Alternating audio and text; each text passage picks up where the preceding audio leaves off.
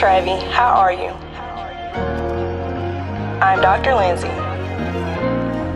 It seems like you've barely spoken about your personal life. Do you really feel like you're not that equal? Let's hear what you got to say. Okay.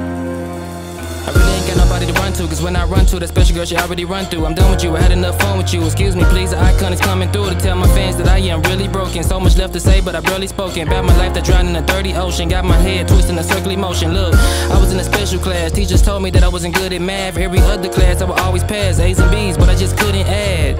Kids used to pick at me just because I like history. I never tried to be like nobody else. I was proud to say that this is me. I barely talk friends I know. I wish that I can fly with the wind and blow. It's a couple people that hate my flow. I just wish I talked to every 10 I know.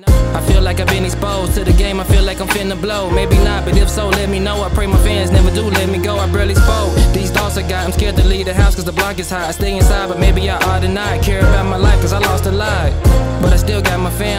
ones that made me the way I am. Posting all my music on Instagram, pray to God that one day I'll be on cam. I'm so addicted to your love, I get it. Girl, I love you to death, I'm a living witness. Get your paper, get your bag, handle all of your business. But when you come back home, girl, you know you gon' get it. Please don't let the roof down on my drop top. Got my target locked on you, you can call it pop lock. Got the keys to the city stuck inside the top lock. If you think my music trash, really you can kick rocks. I barely spoken to my cousin. It's getting hard to let trust in. I try not to let love in.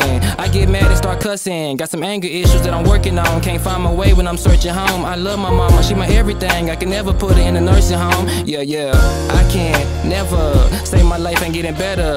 But even through the hotter weather, I still put on the sweater. My Instagram got hacked, and I asked Jesus for it back. Three days later, got an email that told me, Welcome back. Oh wow.